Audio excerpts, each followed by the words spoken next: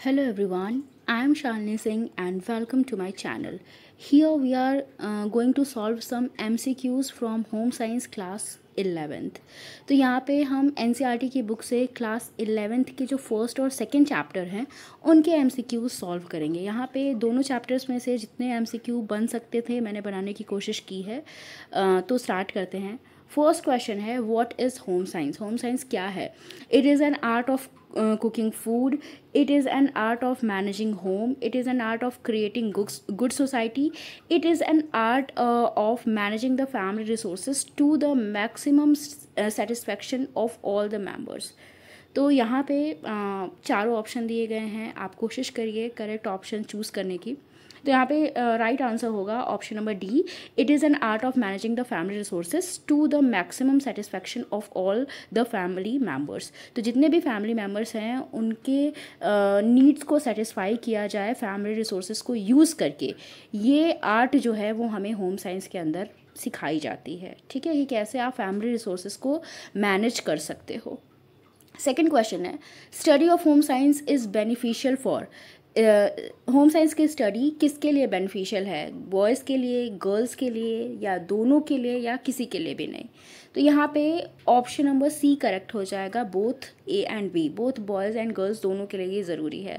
Third question है which field of home science deals with the principle of development and various domains of development of all stage stages of life तो जो जीवन के जितने भी stages हैं, उसमें डेवलपमेंट कैसे होता है क्या क्या प्रिंसिपल है डेवलपमेंट के, इस चीज़ के बारे में होम साइंस का कौन सा फ़ील्ड बात करता है, ठीक है? कौन सी होम साइंस की ऐसी फ़ील्ड है जो डेवलपमेंट पे फोकस करती है लाइफ के डिफरेंट स्टेजेस में?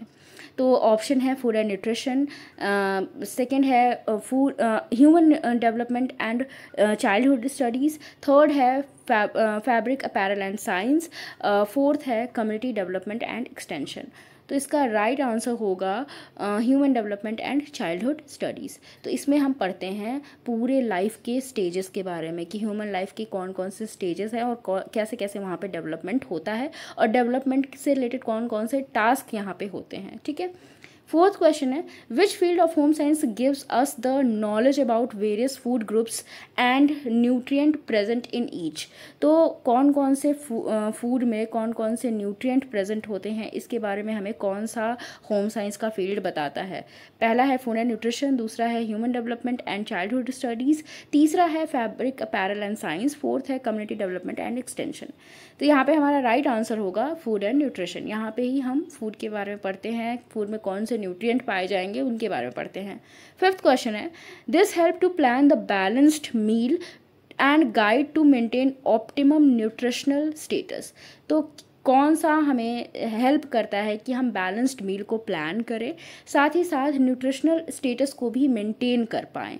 तो यहाँ पे भी हमारे पास ऑप्शन वही सेम है फ़ूड एंड न्यूट्रिशन है ह्यूमन डेवलपमेंट है फैब्रिक अपैरल एंड साइंस है कम्युनिटी डेवलपमेंट एंड एक्सटेंशन है।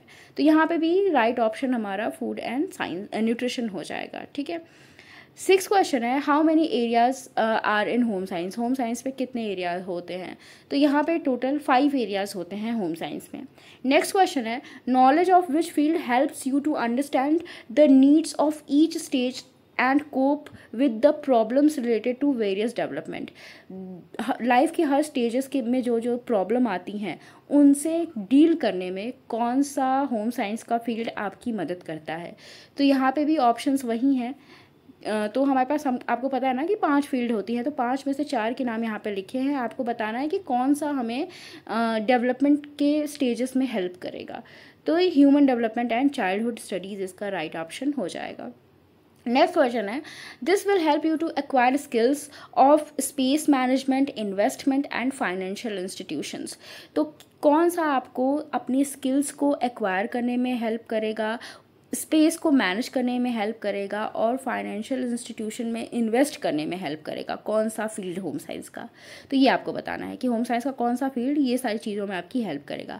पहला है resource management and design application second है human development and childhood studies third है fabric apparel and science fourth है कम्युनिटी डेवलपमेंट एंड एक्सटेंशन तो यहाँ पे ऑप्शन नंबर ए करेक्ट हो जाएगा resource management and design application ninth question है in which field of home science you will learn to to manage important resources like time energy etcetera तो आप अपने resources को मैनेज करना आप किस फ़ील्ड से सीखोगे होम साइंस की? तो यहाँ पे भी ऑप्शन सेम ही है। तो यहाँ पे ऑप्शन नंबर ए करेक्ट हो जाएगा resource management and design application यहाँ पे ही हम रिसोर्स को मैनेज करना सीखते हैं। क्वेश्चन नंबर टेन है in which field of home science you will get the information on important issues like water safety hygiene and sanitation etcetera तो किस फ़ील्ड में किस होम साइंस की किस फ़ील्ड में आप uh, इन सब हाइजीन इशू के बारे में पढ़ोगे और कैसे आप वाटर सेफ्टी कर सकते हो कैसे सैनिटेशन कर सकते हो इसके बारे में पढ़ोगे?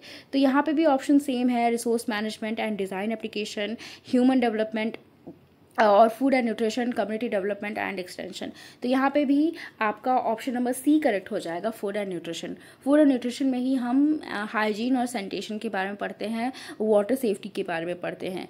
ठीक है?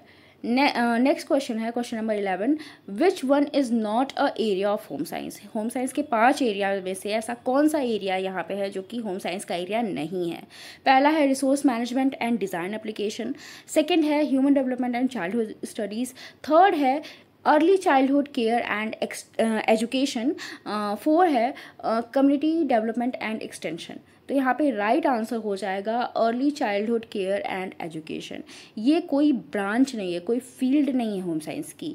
ये ह्यूमन डेवलपमेंट का ही एक पार्ट है, ठीक है? ह्यूमन डेवलपमेंट के अंदर ही हम अर्ली चाइल्डहुड केयर और एजुकेशन के बारे में भी पढ़ते हैं, ठीक है? तो right option option number C हो जाएगा. ट्वेल्थ क्वेश्चन है कि आपको यहाँ पे देखो, इस क्वेश्चन में अजर्शन और रीज़न दिए गए हैं। आपको दोनों को पढ़ना है और आपको नीचे यहाँ पे जो ऑप्शंस दिए गए हैं, इनमें से सही ऑप्शन चूज़ करना है। तो अजर्शन बोल रहा है study of home science is beneficial for both boys and girls कि होम साइंस की स्टडी फ़ायदेमंद है लड़के के लिए भी और लड़की के लिए भी। रीज़न बताया जा रहा है कि different area of home science offer various opportunities of wages as well as self employment कि क्योंकि जो होम साइंस के डिफरेंट एरियाज़ हैं, वो हेल्प करते हैं सभी को कि वो सेल्फ एम्प्लॉयमेंट में भी आगे बढ़ सकते हैं, उनको सेल्फ एम्प्लॉयमेंट का भी मौका मिल सकता है और वेजेस की फ़ील्ड में भी वो जा सकते हैं। मतलब दूसरों के लिए भी वो काम कर सकते हैं, नौकरी वगैरह कर सकते हैं। तो यहाँ पे आप के पास ऑप्शन है कि both A and R are true and R is the correct explanation कि ए भी सही है आर भी सही है और आर अच्छे से एक्सप्लेन कर रहा है अजर्शन को। उसके बाद सेकंड है both A and R are true but R is not the correct explanation C है ए इज़ ट्रू बट और आर इज़ फॉल्स डी है A is false but R is true तो यहाँ पे ऑप्शन नंबर ए करेक्ट हो जाएगा कि both A and R are true and R is the correct explanation दोनों सही है। हमें अगर हम होम साइंस पढ़ते हैं तो ये दोनों के लिए ज़रूरी है। दोनों के लिए फ़ायदेमंद है, लड़का हो या लड़की। इसके अलावा क्यों फ़ायदेमंद है? क्योंकि ये हमें मौका देता है नौकरी करने का भी और साथ ही साथ सेल्फ एम्प्लॉयमेंट का भी। ठीक है? थर्टीन क्वेश्चन है you can be a child counsellor if you have studied आप चाइल्ड काउंसलर बन सकते हो अगर आपने पढ़ाई की है। ये ऑप्शन में से आपको बताना है कि आपने किसकी पढ़ाई की है अगर आप चाइल्ड काउंसलर बनना चाहते हो तो। Resource management and child sorry and design application human development and childhood studies food and nutrition community development and extension तो यहाँ पे राइट ऑप्शन हो जाएगा human development and childhood studies यहाँ पे चाइल्डहुड स्टडीज़ से ही समझ में आ रहा है कि अगर चाइल्डहुड स्टडीज़ आपने की है तो आप चाइल्ड काउंसलर बन सकते हो। इसके बाद नेक्स्ट क्वेश्चन है you can be a consumer activist if you have studied consumer activist बनने के लिए आपको क्या पढ़ने की ज़रूरत है? पहला ऑप्शन है resource management and design application second है ह्यूमन डेवलपमेंट थर्ड है फ़ूड एंड न्यूट्रिशन फोर्थ है कम्युनिटी डेवलपमेंट एंड एक्सटेंशन तो यहाँ पे भी resource management and design application इसका करेक्ट ऑप्शन हो जाएगा, क्योंकि इसी के अंदर हम कंज्यूमर एजुकेशन के बारे में भी पढ़ते हैं, ठीक है? रिसोर्स मैनेजमेंट में ही। तो इसका ऑप्शन नंबर ए करेक्ट हो जाएगा। नेक्स्ट क्वेश्चन है you can be a social entrepreneur if you have studied आप uh, ने आप सोशल एंटरप्रेन्योर बन सकते हो अगर आपने पढ़ा है तो। क्या पढ़ा हो आपने? अग, अगर आप सोशल एंटरप्रेन्योर बनना चाहते हो तो।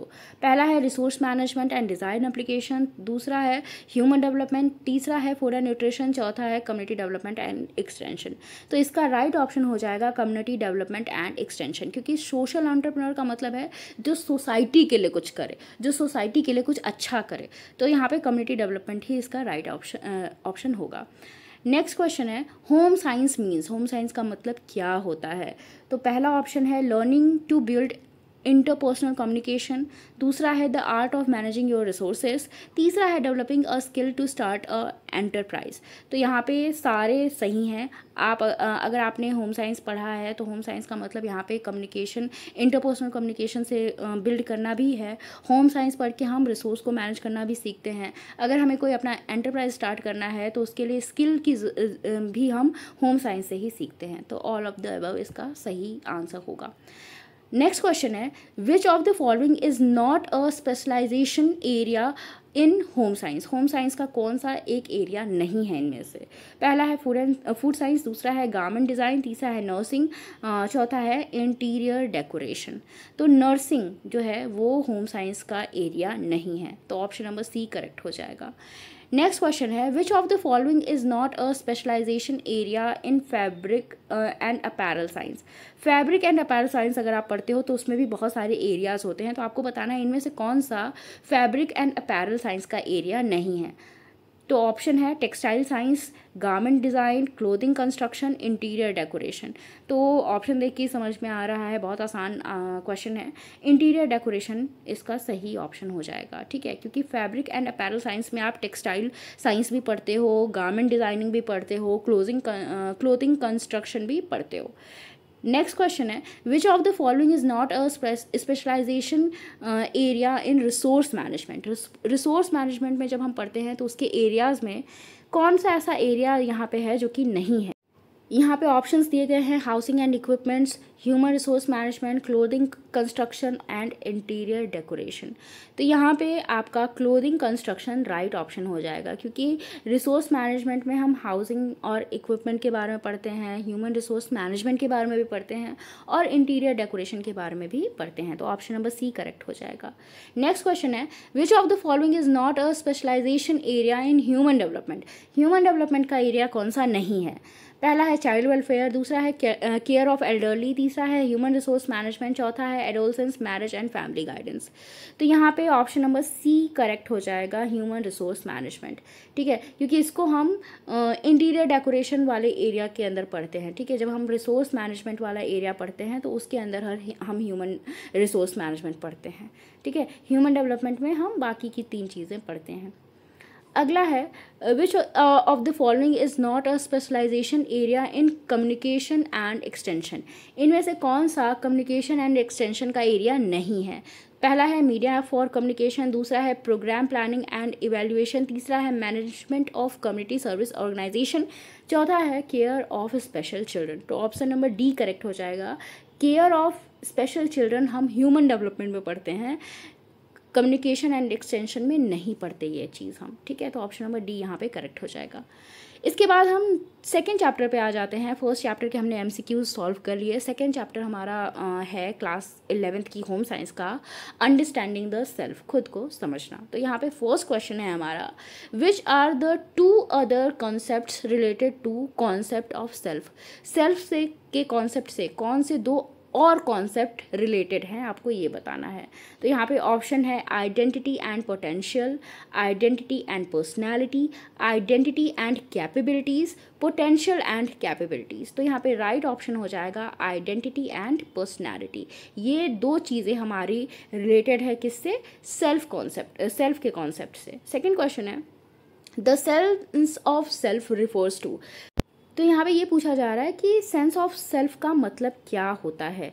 तो पहला है the sense of who we are the sense of what makes us different from everyone else तीसरा है the sense of what makes us similar to each one और चौथा है the sense of who we are and what make us different from everyone else तो option number four correct हो जाएगा कि हम कौन हैं और क्या हमारी ऐसी चीज़ है जो हमें दूसरों से अलग बनाती है? यही सेंस ऑफ़ सेल्फ है। ठीक है? नेक्स्ट क्वेश्चन है the two elements of identity are identity के दो एलिमेंट्स कौन कौन से हैं? तो पहला ऑप्शन uh, है self concept and self esteem दूसरा है self concept and personality third है self concept and potential fourth है पर्सनालिटी एंड सेल्फ स्टीम तो इसका ऑप्शन नंबर वन करेक्ट हो जाएगा self concept and self esteem ये दो तत्व हैं आइडेंटिटी के। फोर्थ क्वेश्चन है dash is a description of oneself खुद का डिस्क्रिप्शन क्या है? पहला सेल्फ स्टीम दूसरा सेल्फ कंसेप्ट तीसरा सेल्फ चौथा आइडेंटिटी तो सेल्फ कंसेप्ट को हम खुद का डिस्क्रिप्शन कहते हैं तो ये सही हो जाएगा। फिफ्थ क्वेश्चन है dash refers to our judgement of our self according to the standard we have set for our self which are largely influenced by society तो कौन सी ऐसी चीज़ है जिस जिसमें हम अपने आप को जज करते हैं? हमने कुछ अपने लिए स्टैंडर्ड सेट किए हैं। और ये स्टैंडर्ड हमने कैसे बनाए अपने लिए? सोसाइटी को देख के बनाए कि सोसाइटी हमसे क्या चाहती है। उस हिसाब से हमने अपने लिए क्या सेट कर लिए? स्टैंडर्ड सेट कर लिए। तो इन स्टैंडर्ड uh, के बेसिस पे हम अपने आप को जज करते हैं तो वो जजमेंट को क्या कहा जाता है? जब हम अपने आप को जज करते हैं तो। Self esteem self concept self and identity तो इसको हम सेल्फ स्टीम कहते हैं, जब हम अपने आप को जज करते हैं। सिक्स क्वेश्चन है टाइप ऑफ़ आइडेंटिटी आइडेंटिटी के क्या क्या टाइप है? पहला है पर्सनैलिटी आइडेंटिटी दूसरा है प्रोफेशनल आइडेंटिटी तीसरा है social identity and cultural identity यहाँ पे पर्सनैलिटी आइडेंटिटी नहीं होगा पर्सनल आइडेंटिटी होगा, ठीक है? तो ये चारों में से आपको बताना है कि कौन से इसमें से आइडेंटिटी के टाइप हैं। ऑप्शन यहाँ पे है A and B B and C A and C और बी एंड डी तो यहाँ पे ए एंड सी करेक्ट हो जाएगा। मतलब personal identity and social identity identity के टाइप हैं। देखो, एक हमारी पर्सनल आइडेंटिटी होती है कि हम खुद को क्या समझते हैं, खुद की हमारी क्या पहचान है अपनी नज़रों में। सोशल आइडेंटिटी मतलब सोसाइटी के नज़र में हमारी क्या पहचान है, हम कैसे हैं सोसाइटी के नज़र में, ठीक है? सेवन क्वेश्चन है, सेल्फ इज़। सेल्फ क्या है? वन डायमेंशनल है, टू डायमेंशनल है, थ्री डायमेंशनल है या मल्टी डायमेंशनल है? तो सेल्फ हमारा मल्टी डायमेंशनल है, ठीक है? एट्थ क्वेश्चन है, self image recognition happens around of around dash of age. तो किस एज में बच्चा अपनी खुद की इमेज को जब वो मिरर में देखता है तो पहचान लेता है कि हाँ ये मैं ही हूँ। तो ऑप्शन है sixteen month, eighteen month fourteen month twenty month तो ऑप्शन इसका करेक्ट हो जाएगा एटीन मंथ अठारह महीने में बच्चा अपनी मिरर में अपने आप को देख के पहचान लेता है कि वो वही है, कि वो उसकी ही इमेज है। नेक्स्ट क्वेश्चन है which one is not the main characteristic of young children's understanding of them self during early childhood जब अर्ली चाइल्डहुड में बच्चा अपने बारे में बताता है तो कौन सी चीज़ है जो वो अपने बारे में नहीं बताता, जो उसकी मेन कैरेक्टरिस्टिक नहीं होती उस समय पे। हमें, ठीक है नॉट ध्यान देना नॉट कहा गया है कि कौन सी मेन कैरेक्टरिस्टिक नहीं होती है यंग चिल्ड्रन की, जो अर्ली चाइल्डहुड वाला बच्चा है उसकी। पहला है फ़िज़िकल डिस्क्रिप्शन सेकंड है सोशल डिस्क्रिप्शन एंड आइडेंटिटी तीसरा है things they can do fourth है they often overestimates them तो देखो, ये सारी चीज़ें सही है सिवाय सोशल डिस्क्रिप्शन एंड आइडेंटिटी के। बच्चा इस समय सोशल डिस्क्रिप्शन अपना नहीं देता क्योंकि उसको सोसाइटी के बारे में इतना पता नहीं है। उसको नहीं पता कि सोसाइटी में उसका रोल क्या है, उसकी सोशल आइडेंटिटी क्या है। बच्चा अपना फ़िज़िकल डिस्क्रिप्शन देता है, बच्चा बताता है कि मैं लंबा हूँ, छोटा हूँ, कैसा हूँ। उसके बाद बच्चा ये भी बताता है कि कौन कौन सी चीज़ें मैं कर सकता हूँ और ये चीज़ें बताने में कभी कभी बच्चा अपने आप को ओवर एस्टिमेट भी कर देता है, ठीक है? मतलब बढ़ा चढ़ा के भी अपने बारे में बताता है। तो यहाँ पे ऑप्शन नंबर बी करेक्ट हो जाएगा। नेक्स्ट है which one is not the main characteristic of children's understanding of them self during middle childhood जब मिडिल चाइल्डहुड में बच्चा जाता है तो कौन सी उसकी मेन कैरेक्टरिस्टिक नहीं है? जब वो खुद को डिस्क्राइब करता है तो क्या अपने बारे में वो नहीं बताता? मतलब क्या उसकी मेन कैरेक्टरिस्टिक यहाँ पे नहीं है, वो बताया, बताना है, ठीक है? नॉट यहाँ पे लगा है। तो पहला है इंटरनल कैरेक्टरिस्टिक्स दूसरा है सोशल कंपैरिजन तीसरा है can distinguish between their real self and ideal self fourth है ओवर एस्टिमेट देम सेल्फ तो यहाँ पे फोर्थ करेक्ट हो जाएगा ओवर एस्टिमेट देम सेल्फ बच्चा खुद को ओवर एस्टिमेट यहाँ पे नहीं करता, क्योंकि अब बच्चा समझने लगा है, अब वो क्या करता है, अपनी इंटरनल कैरेक्टरिस्टिक्स को बता सकता है, जैसे उसकी हॉबीज़ क्या हैं, उसका इंटरेस्ट क्या है, उसको किस सब्जेक्ट में इंटरेस्ट है। सोशल कंपैरिजन भी बच्चा अपना करता है कि बच्चा मतलब सोशल कंपैरिजन मतलब बच्चा अपने पीयर ग्रुप में, अपने दोस्तों से अपना अपना कंपैरिजन करने लगता है अब यहाँ पे। बच्चा अपने रियल सेल्फ और आइडियल सेल्फ में भी अंतर पहचानने लगता है। रियल सेल्फ मतलब वो खुद कैसा है और आइडियल सेल्फ मतलब बच्चा कैसा बनना चाहता है। तो बच्चा अब ये बता पाता है कि अच्छा अभी मैं, इस पोजीशन पे हूँ और मैं किस पोजीशन पे पहुँचना चाहता हूँ। इन दोनों में अंतर भी बच्चा समझने लगता है। ठीक है तो ये चीज़ें होती हैं सिवाय ऑप्शन नंबर फोर के। नेक्स्ट क्वेश्चन है पीरियड ऑफ़ आइडेंटिटी क्राइसिस कौन सा इसमें से आइडेंटिटी क्राइसिस का पीरियड है? चाइल्डहुड अडल्टहुड अडोलसेंस या इन्फेंसी तो यहाँ पे अडोलसेंस एक ऐसा पीरियड है जो कि आइडेंटिटी क्राइसिस का पीरियड है, किशोरावस्था, ठीक है? नेक्स्ट क्वेश्चन है. According to dash the task during the period of adolescence is to develop a sense of identity a satisfactory self definition तो किसने ये कहा कि जो एडोलसेंस के टास्क होते हैं, वो क्यों होते हैं ताकि वो सेल्फ आइडेंटिटी आइडेंटिटी की भावना को विकसित कर सकें, ताकि वो सेल्फ डेफिनेशन को बता सकें। एक सेटिस्फैक्ट्री सेल्फ डेफिनेशन बच्चा अपना दे पाए। होता है ना कि जब एडोसेंस में हमने अपने लिए कोई गोल सेट किया है, हम उसको पा लेते हैं, हम उस गोल तक पहुँच जाते हैं, हमने जो टास्क हमारे एडोलसेंस के हैं, हम उनको पूरा अच्छे से कर लेते हैं तो एक सेटिस्फैक्शन हमको मिलता है। हम अपने लिए जो डेफिनेशन देते हैं, वो भी बहुत ज़्यादा सेटिस्फैक्ट्री डेफिनेशन देते हैं। हमारे अंदर एक सेंस ऑफ़ आइडेंटिटी आती है। तो ये चीज़ कही थी किसने? एरिक्सन ने। एरिक्सन एरिक्सन एक मनोवैज्ञानिक है जिन्होंने ये बात कही थी कि जो टास्क होते हैं एडोलसेंस के टाइम के, वो बच्चे में सेंस ऑफ़ आइडेंटिटी डेवलप करते हैं, साथ ही साथ बच्चा एक सेटिस्फैक्ट्री सेल्फ डेफिनेशन भी देने लगता है अपने आप को। नेक्स्ट क्वेश्चन है which one is not the main characteristic of an adolescent sense of self जब एक अडोलसेंट अपने आप को समझता है तो क्या उसकी कैरेक्टरिस्टिक नहीं है? ठीक है? नॉट यहाँ पे भी लगा है याद रखना। पहला है अब्स्ट्रैक्ट दूसरा है फ्लक्चुएटिंग सेंस ऑफ़ सेल्फ तीसरा है सेल्फ कॉन्शियस चौथा है फ़िज़िकल डिस्क्रिप्शन तो यहाँ पे फ़िज़िकल डिस्क्रिप्शन हो जाएगा। बच्चा आ, मतलब एडोलसेंस वाले पीरियड में जो बच्चा है वो फ़िज़िकल डिस्क्रिप्शन उतना नहीं देता। वो अब्स्ट्रैक्ट चीज़ें बताता है। मतलब वो चीज़ें जो उसके अंदर हैं जो जो दिखाई नहीं देती। वो अपनी आ, अपनी भावनाओं को बताएगा अपनी क्वालिटीज़ को बताएगा अपनी स्किल्स को बताएगा। यहाँ पे बच्चे का जो सेंस ऑफ़ सेल्फ है, वो भी फ्लक्चुएट करता रहता है। कभी वो अपने बारे में अच्छा अच्छा फील करेगा, कभी वो अपने बारे में बुरा फील करने लगेगा तो ये थोड़ा सा फ्लक्चुएटिंग होता है सेंस ऑफ़ सेल्फ उसके आप, उसके बाद सेल्फ कॉन्शियस भी बच्चा हो जाता है। बच्चा अपने आप पर बहुत ज़्यादा ध्यान देता है इस पीरियड में। इस पीरियड में उसे बच्चा नहीं कहेंगे, किशोर कहेंगे, ठीक है? क्योंकि एडोलसेंट वाला पीरियड है। तो इसमें जो है मेन कैरेक्टरिस्टिक क्या नहीं होगी? फ़िज़िकल डिस्क्रिप्शन यहाँ पे एडोलसेंट अपनी नहीं देता। नेक्स्ट क्वेश्चन है the reason reasons why each one of us has a unique identity क्या रीज़न है कि हम सब की एक यूनिक आइडेंटिटी होती है? चाहे हम ट्विंस ही क्यों ना हो, ठीक है? अगर हमारा कोई जुड़वा भाई बहन भी है ना तो भी उसकी और हमारी आइडेंटिटी अलग अलग होगी। हर किसी की एक अपनी यूनिक आइडेंटिटी होती है। तो रीज़न इसका बताना है कि क्यों ऐसा होता है। Each one of us except identical twins has a unique combination of genes अगर हम देखें तो हमारा जो जीन्स का कॉम्बिनेशन होता है, वो यूनिक होता है, सिवाय आइडेंटिकल ट्विंस को छोड़ के। Each one of us has different experience सबके एक्सपीरियंसेस डिफरेंट होते हैं। Even if we have similar experience we respond to these in different way अगर मान लो हमें सिमिलर एक्सपीरियंस मिल भी रहे हैं ना तो हमारा रिस्पॉन्स जो है, उन एक्सपीरियंस के लिए वो डिफरेंट वे में होगा। ज़रूरी नहीं कि हर चीज़ के लिए हर कोई सेम तरह से रिस्पॉन्स करे। ठीक है? आपका रिस्पॉन्स अलग होगा, मेरा रिस्पॉन्स अलग होगा। तो आपको ये सारे ऑप्शंस में से देख के बताना है कि इनमें कौन कौन से रीजंस है जिसकी वजह से हम कह सकते हैं कि हम सबकी यूनिक आइडेंटिटी होती है। तो यहाँ पे सारे ही रीजंस है। ए बी सी सारे करेक्ट हो जाएँगे। ये सारी चीज़ें होती हैं हमारे अंदर जिसकी वजह से हमारी सबकी आइडेंटिटी अलग अलग होती है।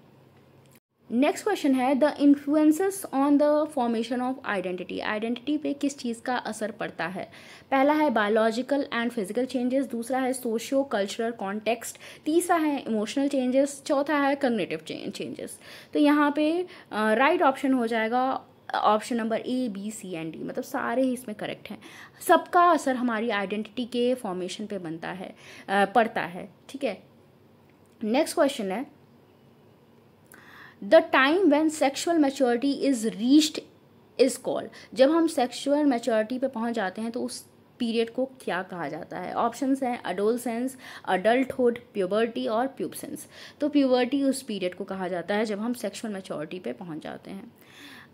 नेक्स्ट क्वेश्चन है the period which leading to puberty is called puberty तक ले जाने वाला पीरियड क्या कहलाता है? मतलब जो हमें प्यूबर्टी तक पहुंचाता है, उस पीरियड को क्या कहते हैं? ऑप्शन है एडोलसेंस प्यूबसेंस अडल्टहुड और चाइल्डहुड तो प्यूबसेंस इसका राइट right ऑप्शन हो जाएगा ऑप्शन नंबर बी करेक्ट हो जाएगा. नेक्स्ट क्वेश्चन है for most girls pubescence ranges from pubescence वाला जो पीरियड होता है प्यूबर्टी वाला पीरियड जो मतलब होता है मतलब प्यूबसेंस वो पीरियड होता है ना जो हमें प्यूबर्टी तक ले जाता है। तो प्यूबसेंस कितने समय से हो, तक uh, से कितने तक होता है? कितने साल से कितने साल तक होता है लड़कियों के मामले में? तो ऑप्शन है ten to twelve year eleven to thirteen ten to thirteen या ट्वेल्व टू फोर्टीन तो यहाँ पे इलेवन टू थर्टीन ईयर होगा। हालाँकि ये वेरी कर सकता है, लेकिन एक अगर आप नॉर्मल मानो जो ज़्यादातर लड़कियों के केस में देखने को मिलता है, वो इलेवन टू थर्टीन ही है, ठीक है? नेक्स्ट क्वेश्चन है फॉर मोस्ट बॉयज़ अब बॉयज़ के केस में प्यूबसेंस की क्या रेंज होती है? प्यूबसेंस वाला पीरियड कौन सा माना जाता है? ऑप्शन है thirteen to fifteen twelve to fifteen eleven to thirteen या ट्वेल्व टू फोर्टीन। तो यहाँ पे थर्टीन टू फिफ्टीन ईयर जो है वो ज़्यादातर लड़कों में देखने को मिलता है प्यूबसेंस का पीरियड ठीक है? नेक्स्ट क्वेश्चन है। अजर्शन रीजन का क्वेश्चन है। दोनों को पढ़ो और दोनों के बाद बताओ यहाँ पे ऑप्शंस पे देख के कि कौन सा ऑप्शन सही है। पहला क्वेश्चन पहला जो अजर्शन है self concept is a description of one self self concept को हम एक, हमारा डिस्क्रिप्शन बोल सकते हैं। रीज़न क्या है? Our self concept includes our quality, feelings, and thoughts, and what we are capable of doing. हमारा जो सेल्फ कंसेप्ट है वो उसमें क्या इंक्लूड है? उसमें हमारी क्वालिटी हमारी फीलिंग हमारे विचार इंक्लूड है और हमारा सेल्फ कंसेप्ट ही ये बताता है कि हम क्या चीज़ें कर सकते हैं। तो यहाँ पे ऑप्शन है both A and R are true and R is the correct explanation both A and R are true but R is not the correct explanation A is true but और R is false A is false but R is true तो यहाँ पे option number A correct हो जाएगा कि both A and R are true and R is the correct explanation A भी सही है आर भी सही है और आर अच्छे तरह से अजर्शन को एक्सप्लेन भी कर रहा है, ठीक है? रीज़न हमेशा अजर्शन को एक्सप्लेन करे, ये ज़रूरी नहीं है। तो यहाँ पे अगर नहीं करता तो हम ऑप्शन नंबर बी लगाते। लेकिन यहाँ पे ये अच्छे से एक्सप्लेन कर रहा है, इसीलिए हमने ऑप्शन नंबर ए यहाँ पे सही किया है। नेक्स्ट क्वेश्चन है eating disorders in adolescence related to adolescence में जो ईटिंग डिसऑर्डर होते हैं वो किस चीज़ से रिलेटेड होते हैं? क्यों बच्चों में ईटिंग डिसऑर्डर्स होते हैं? तो ऑप्शन यहाँ पे है under eating over eating and vomiting तीसरा है shrinking of stomach due to growth spurt next है पीयर प्रेशर फोर्थ है मूड स्विंग तो यहाँ पे uh, जो ऑप्शन नंबर ए है, वो करेक्ट हो जाएगा under eating over eating and vomiting यहाँ पर बच्चा क्या होता है, या तो अब देखो अडोलसेंस में हम अपनी पर्सनैलिटी को लेके बहुत ज़्यादा चिंतित हो जाते हैं। हमें लगता है कि कहीं हम ज़्यादा मोटे तो नहीं हो रहे हैं, कहीं ज़्यादा पतले तो नहीं हो रहे हैं। तो यहाँ पे हम कभी कभी बहुत कम खाते हैं। तो जब हम बहुत कम खाते हैं, फिर हमें भूख लगती है तो हम बहुत ज़्यादा भी खा लेते हैं। फिर जब हम बहुत ज़्यादा खाते हैं तो हमें गिल्ट हो जाता है कि हम, मैं तो डाइटिंग पे थी, फिर मैंने इतना ज़्यादा खा लिया। तो हम क्या करते हैं? वॉमिटिंग करने की कोशिश करते हैं। जो हमने खाया है उसे बाहर निकालने की कोशिश करते हैं। तो इसकी वजह से बच्चे में ईटिंग डिसऑर्डर देखने को मिलता है एडोलसेंस वाले पीरियड में। नेक्स्ट क्वेश्चन है the suicidal tendency in adolescence develops because of बच्चों में मतलब एडोलसेंस में जो सुसाइडल टेंडेंसी है, बच्चा जो आत्महत्या करने वाली जो टेंडेंसी है, वो क्यों डेवलप होती है? ईटिंग डिसऑर्डर की वजह से पीयर प्रेशर की वजह से बायोलॉजिकल प्रॉब्लम की वजह से या लोनलीनेस की वजह से? तो इसका करेक्ट ऑप्शन होगा लोनलीनेस ठीक है? अकेलेपन की वजह से ऐसा होता है। नेक्स्ट क्वेश्चन है adolescence require education on reproductive health because reproduction वाली नॉलेज रिप्रोडक्टिव हेल्थ की नॉलेज अडोलसेंस को मिलनी चाहिए। क्यों मिलनी चाहिए? तो यहाँ पे वजह बतानी है आपको कि क्यों मिलनी चाहिए। ऑप्शन नंबर ए है they are growing fast they need to accept their physique as it is they need to achieve male female sex role they need to prepare for marriage and family life तो option number four four correct हो जाएगा. They need to prepare for marriage and family life अगर बच, बच्चे को इसके बाद क्या एडोल्सन के बाद बच्चे को मैरिज के लिए फैमिली लाइफ के लिए प्रिपेयर होना है इसी वजह से उसको रिप्रोडक्टिव हेल्थ के बारे में जानकारी होनी चाहिए. ठीक है? नेक्स्ट क्वेश्चन है adolescence feel rebellious towards authority because they feel क्यों, क्या रीज़न है जिसकी वजह से बच्चा रेबेलियस हो जाता है? बच्चा अथॉरिटी के प्रति बहुत ज़्यादा रेबेलियस हो जाता है, संघर्ष करता है। अथॉरिटी से मतलब यहाँ पे है जो भी बड़े लोग हैं, जो भी उसके पेरेंट्स है ग्रैंड पेरेंट्स है सोसाइटी है, उसके प्रति बच्चा थोड़ा सा रेबेलियस हो जाता है। क्यों? अडल्ट तो इस, यहाँ पे आपको रीज़न बताना है। पहला है adult don't trust them adult don't understand them there is peer pressure they have grown up तो यहाँ पे क्या उनकी फीलिंग है? उनको क्यों लगता है कि वो रिबेलियस हो रहे हैं? तो देखो, वो बच्चे जो हैं, वो ये सोचते हैं कि जो बड़े हैं, वो उनको समझ नहीं रहे हैं। अडल्ट उनको समझ नहीं रहे हैं। इसीलिए वो रिबेलियस हो जाते हैं। तो यहाँ पे ऑप्शन नंबर बी करेक्ट हो जाएगा। इसी के साथ हमारे जो दो चैप्टर हैं, उसमें से जो भी एमसीक्यू बन सकते थे, मैंने बनाए हैं। आई होप आपको ये क्वेश्चन समझ में आए होंगे। आपने अच्छे से इसको सॉल्व भी कर लिया होगा, क्योंकि ये चैप्टर्स ऑलरेडी मैं इस चैनल पे आपको पढ़ा चुकी हूँ। वीडियो अच्छा लगा हो तो लाइक कर देना शेयर कर देना और चैनल को सब्सक्राइब कर देना। और अगर कोई आपके डाउट्स हों, कोई सजेशन हो तो भी आप कमेंट सेक्शन में वो सजेशन दे सकते हो, अपने डाउट पूछ सकते हो। Thank you for watching